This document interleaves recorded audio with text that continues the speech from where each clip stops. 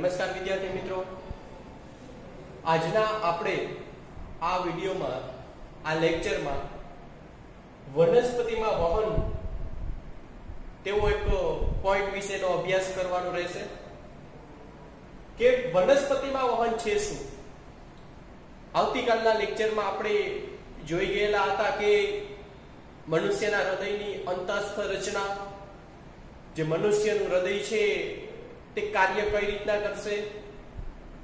આજના દિવસમાં આપણે આ પોઈન્ટ વિશેનો અભ્યાસ કરવાનો રહેશે. આ પોઈન્ટ એવો છે કે વનસ્પતિમાં વહન. હવે, આ વહનનો અર્થ શું થાય વનસ્પતિમાં?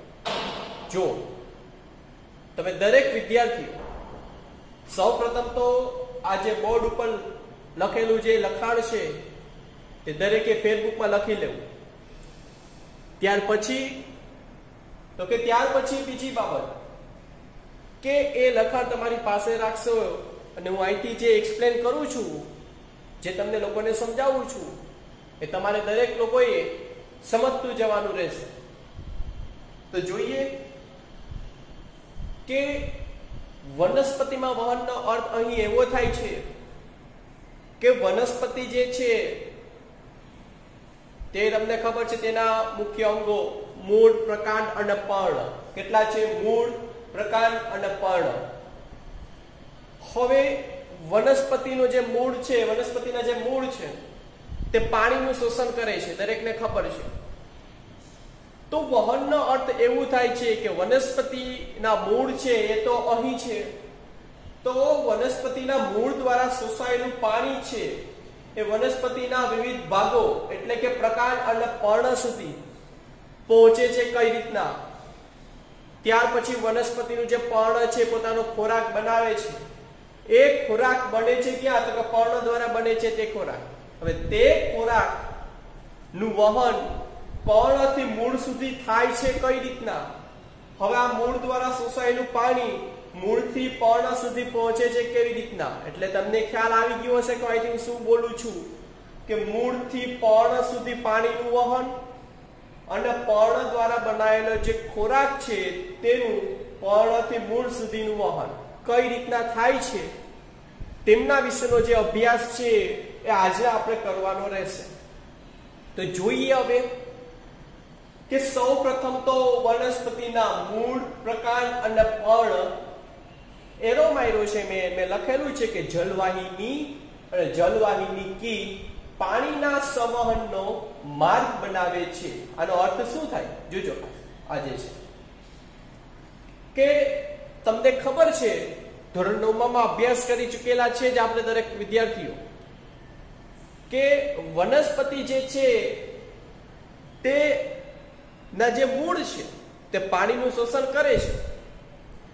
હવે આ પાણીનું વહન કેના દ્વારા થાય છે? તો કે જલવાહિની એવો શબ્દ આપણે ભણી ગયેલા. તેના વિશેની માહિતી પણ આપણે આપેલી છે.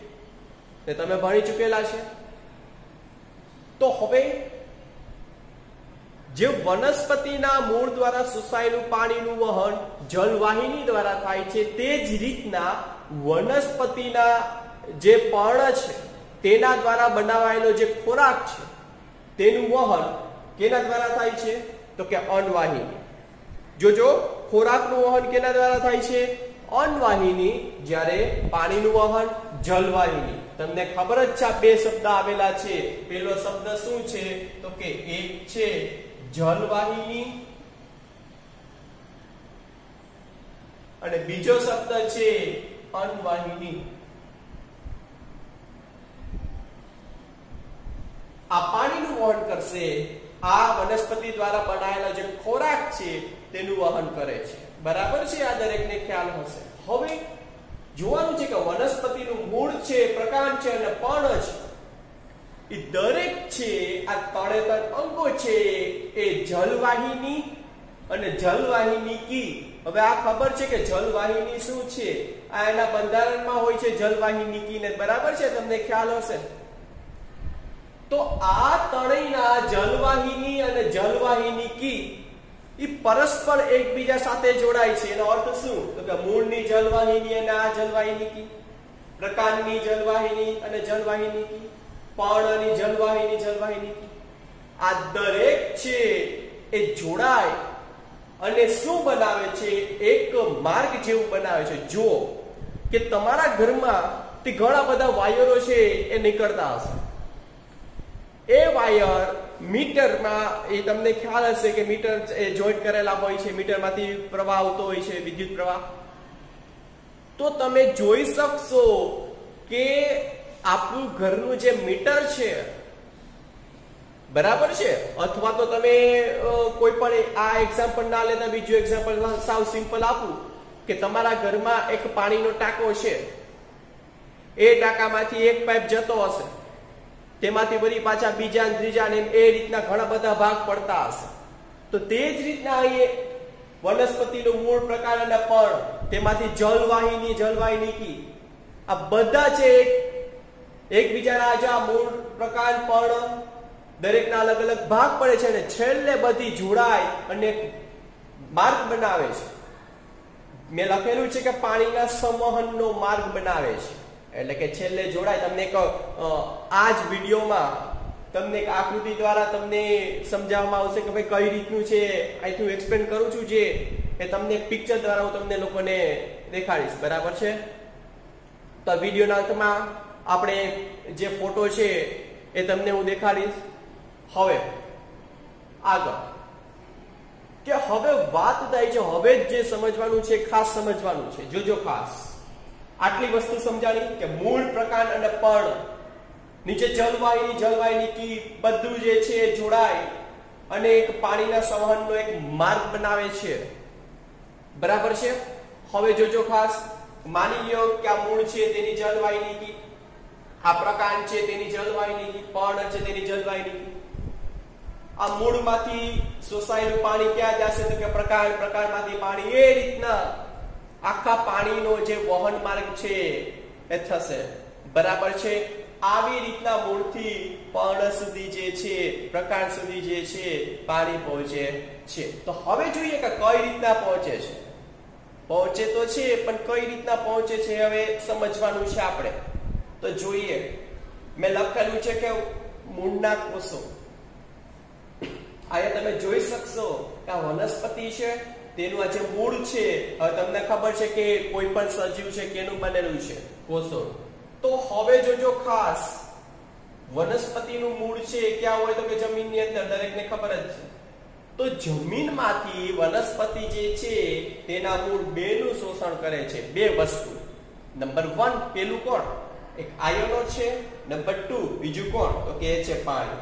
બરાબર છે? તો જોઈએ કે આ જે છે, આ જે મેં રાઉન્ડ જે જો તમે જોઈ શકશો જે રાઉન્ડ શેપમાં મેં આ રીતના તમને ડાર્ક પોઈન્ટ જેવું દેખાતું હશે. આ આયનો છે ને આ છે પાણી હવે જમીનમાં બે વસ્તુ હોય છે. એક તો આયનો હોય છે અને પાણી પણ હોય છે.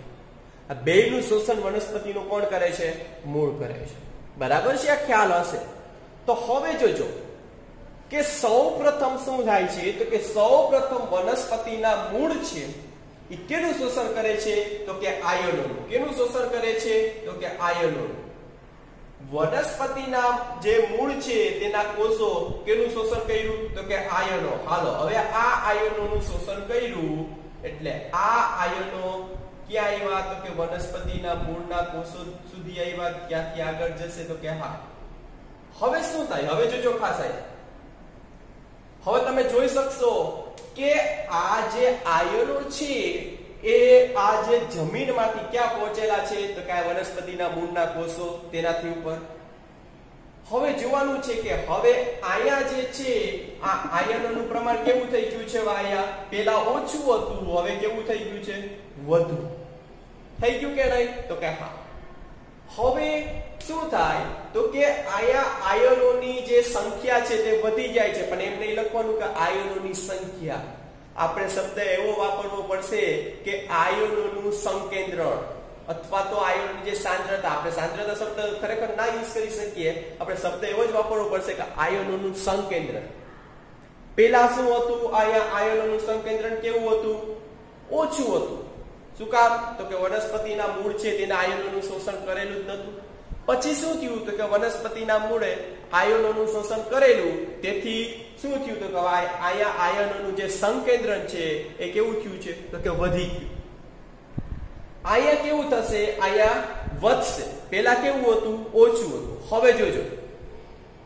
હવે આયા આયનોનું સંકેન્દ્રણ વધ્યું. કેની કેનું પ્રમાણ ઘટેલું છે? તો કે પાણી. કેનું? તો કે પાણી તેના લીધે આ જે પાણી છે એ ક્યાં જશે? તો કે વનસ્પતિના જે મૂળ છે, એ મૂળના કોષો દ્વારા કેનું શોષણ થશે? પાણી. એ શું કામ થયું? તો કે અહીં આયનોનું પ્રમાણ વધી ગયું છે તેથી. હવે શું થશે? હવે વનસ્પતિના મૂળે પાણીનું શોષણ કર્યું, એટલે હવે અહીંયા કેનું પ્રમાણ વધી ગયું? તો કે આયનોની સરખામણીમાં અહીંયા કેનું પ્રમાણ વધી ગયું? તો કે અહીં પાણીનું પ્રમાણ વધી ગયું. કેનું પ્રમાણ વધી ગયું?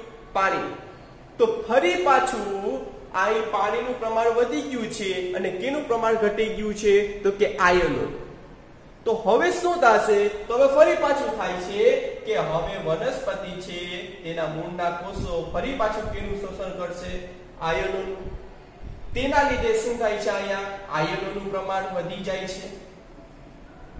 ને કેનું પ્રમાણ ઘટી જાય છે? તો કે પાણીનું પ્રમાણ ઘટી જાય છે. તેના લીધે શું થાય છે? તો કે ફરી પાછું આ છે પાણીનું શોષણ કરે છે વનસ્પતિના મૂળના કોષો. તો કેનું પ્રમાણ વધી જશે? તો કે પાણીનું પ્રમાણ ફરી પાછું વધી જશે. તો આવી જ રીતની જે ક્રિયા છે સતત અને સતત વનસ્પતિમાં થતી રહે છે. બરાબર છે? આવી જ રીતના વનસ્પતિ જે છે તે પાણીનું શોષણ કરે છે અને તે જ રીતના આયનોનું શોષણ કરે છે. અહીંયા ઉપર હેડિંગ આપી શકો કે મૂળ દ્વારા પાણીના, પાણીનું શોષણ. અહીં શું હેડિંગ આપી શકો તમે? તો કે મૂળ દ્વારા પાણીનું શોષણ. આવું હેડિંગ તમે આપી શકો. બરાબર છે? અને પાણીનો સ્તંભ કઈ રીતના છે રચાય છે, એ મેં તમને સમજાવ્યું છે. ખ્યાલ પડ્યો છે આટલું? જો આ દરેક વસ્તુ છે, એ તમે જોઈ શકો છો. બરાબર છે?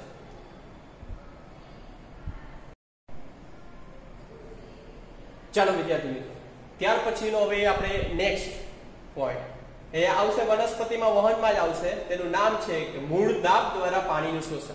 આ પણ બહુ ઇઝી રહેશે. કે મૂળ દાબ દ્વારા પાણીનું શોષણનો અર્થ શું થાય? ને જુઓ, દરેક વિદ્યાર્થીને સંપૂર્ણ સો ટકા ના સમજાય હાલના સમયમાં, તો કોઈ વિદ્યાર્થીએ મૂંઝાની જરૂર નથી. જેટલું સમજાય તેટલું તમારે દરેક લોકોએ સમજવાની ટ્રાય કરવાની છે. બરાબર છે? એક બે વાર વિડીયોને જોશો તો સમજાશે. હવે, માનું છું કે ભાઈ અવાજ જે છે એ પણ ક્લિયર આવતો હશે તમને બોર્ડ ઉપર જે લખેલું છે તે પણ તમે સરખી રીતના જોઈ શકતા હશો. બરાબર છે? નેક્સ્ટ કે મૂળ દાબ દ્વારા પાણીનું શોષણનો અર્થ શું થાય? જો નામ છે કે મૂળ દાબ, મૂળ દ્વારા એક પ્રકારનું દબાણ સર્જાય છે. હવે તમને ખબર છે કે મેં જો સાવ સિમ્પલ રીતના આ આકૃતિ એક્ઝામમાં ડ્રો કરવાની હોતી નથી, માત્ર ને માત્ર મેં તમને લોકોને સમજાય એટલા માટે અહીં આકૃતિ રફ આકૃતિ ડ્રો કરીને સમજાવવાની ટ્રાય કરેલી છે. તો જોઈએ કે અહીં તમે જોઈ શકો છો કે આ આ મેં માની લો કે આ એક મૂળ છે. શું છે? મૂળ. હવે આ મૂળે કેનું શોષણ કર્યું છે? ચાહે મેં લખેલું છે કે પાણીનું, કેનું શોષણ કર્યું છે? પાણી. હવે આ પાણી જે છે, તેનું શોષણ કોને કર્યું? તો કે મૂળના કોષો. આ મૂળના કોષોએ આ પાણીનું શોષણ કર્યું છે, તેના લીધે દરેક જગ્યાએ આ શું છે? તો કે પાણી. આ પાણી હોવાને લીધે અહીં એક પ્રકારનું દબાણ સર્જાય છે. શું સર્જાય છે? જાય રીતના ધીરે ધીરે ધીરે ધીરે ધીરે એક પ્રકારનું દબાણ સર્જાય છે. તેના લીધે આ પાણી છે, આ પાણી ક્યાં પહોંચે છે? તો કે આ પાણી જલવાહિની સુધી પહોંચે છે. આવા જલવાહિની ક્યાં આવેલી હોય છે? તમને ખબર છે કે કાં તો પર્ણ હોય, પ્રકાંડ હોય. બરાબર છે? ત્યાં સુધી પહોંચે છે. કોણ? તો કે પાણી. તમે જોઈ શકો છો. જો બરાબર છે? હવે તો કે આ જે છે ને, એને તેને શું કહેવામાં આવે છે? તો કે મૂળ દાબ દ્વારા પાણીનું શોષણ. સાવ સિમ્પલ છે, આટલું જ છે. પરંતુ આ જે મૂળ દાબ દ્વારા પાણીનું શોષણ જે છે, તેમાં એક વસ્તુ ખાસ નોટ કરવાની છે કે આના દ્વારા જે પાણીનું શોષણ થાય છે, તે વનસ્પતિનું જો કદ તમે જોઈ શકો છો, નાનું હોય તો જ આ પોસિબલ છે, તો જ આ શક્ય છે. બરાબર છે? જો બાકી જો વનસ્પતિ જે છે તે થોડી ઊંચી હોય છે, તો તેની ઊંચાઈના જે સ્થાન છે, એટલે કે ટોચ ઉપર, એટલે કે માની લ્યો કે અહીંથી આ પાણી અહીં સુધી પહોંચવા માટે આ દાબ છે તે ઉપયોગી થતું નથી. કેના માટે? તો કે વનસ્પતિ માટે. તો હવે તેના માટે કઈ વસ્તુ હોય છે? બરાબર છે? તે વસ્તુ આપણે આના નેક્સ્ટ પોઈન્ટમાં ભણશું. ચાલો, જોઈએ તો નેક્સ્ટ પોઈન્ટ શું છે? વનસ્પતિમાં વહનમાં જ આવશે દરેક પોઈન્ટો લખેલું છે કે પાસપોર્ટ સર્જન ખેંચાણ દ્વારા પાણીનું વહન તો સૌ પ્રથમ તો આપણે એ સમજવું પડે કે બાષ્પોટ સર્જનનો અર્થ શું થાય? જા જે છે, તેનો અર્થ શું થાય? બાષ્પોટ સર્જન. તો કે વનસ્પતિ જે છે, આ વનસ્પતિના જે અંગો છે, હવાઈ અંગો, આ વનસ્પતિના અંગો દ્વારા પાણી ગુમાવવાની જે ક્રિયા છે, બાષ્પ સ્વરૂપે. શું બોલ્યો છું? તો કે વનસ્પતિના, અહીં લખી દઉં છું. વનસ્પતિના અંગો દ્વારા વાતાવરણમાં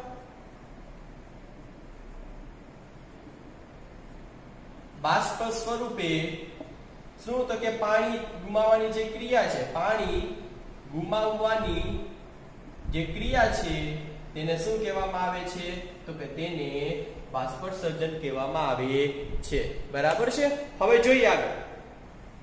કે વનસ્પતિ છે, તેનું ખાસ કરીને જે પર્ણ છે, તે પર્ણ દ્વારા વાતાવરણમાં પાણી ગુમાવાય છે. તમને ખબર છે કઈ રીતના છે? આપણે ભણી ગયેલા જ છે આપણે. વાયુરંધ્રની રચના પર્ણરંધ્ર શું છે? બરાબર છે? તો હવે જોઈએ કે જ્યારે દિવસ દરમિયાન વનસ્પતિનું જે પર્ણ છે, તે પોતાનામાં રહેલું વધારાનું પાણી છે, તે વાતાવરણમાં ગુમાવશે. તેને કઈ ક્રિયા કહેવાય છે? બાષ્પોત્સર્જન કહે છે. તો જ્યારે બાષ્પોત્સર્જનની ક્રિયા થાય છે, માની લ્યો કે અહીં આ એક પાણીનું જે, માની લ્યો આ પાણી છે. તે શું થયું? તો કે તે વાતાવરણમાં ગુમાવી દીધું. તો હવે તેના લીધે શું થાય? તો કે અહીં રહેલું જે પાણી છે, તે તો વાતાવરણમાં ગુમાવાઈ ગયું છે. તો હવે શું થશે? તો કે હવે વનસ્પતિના જે મૂળના કોષો છે, ત્યાંની જે જલવાહક, ત્યાંના જે જલવાહક કોષો છે, તેમાં રહેલું પાણી ધીરે ધીરે ધીરે ધીરે ક્યાં આવશે? તો કે વનસ્પતિના પર્ણ સુધી પહોંચે છે.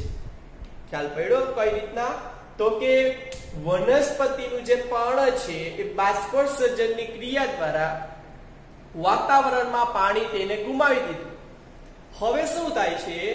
તો કે હવે અહીંનું પાણી જે છે, અહીં રહેલું પાણી તેની પૂર્તિ કરવા માટે શું થશે? તો કે વનસ્પતિના જે મૂળ છે, આ મૂળના જે કોષો છે ત્યાંના જે જલવાહક કોષો છે, તેમાં રહેલું પાણી ધીરે ધીરે ક્યાં પહોંચે છે? તો કે આ જે પર્ણ છે, ત્યાં સુધી પહોંચે છે. આ શું થયું? આ કેની વાત થઈ? આ વાત થઈ બાષ્પોત્સર્જનના ખેંચા દ્વારા પાણીનું વહ બરાબર છે? આ દરેક વસ્તુ જોઈ શકો છો અને આ વિડીયોના અંતમાં તમને લોકોને એક ફોટો તમારી સામે રાખીશ. તેમાં જોઈ શકશો કે કઈ રીતના ત્રણેય વસ્તુ છે. બરાબર છે?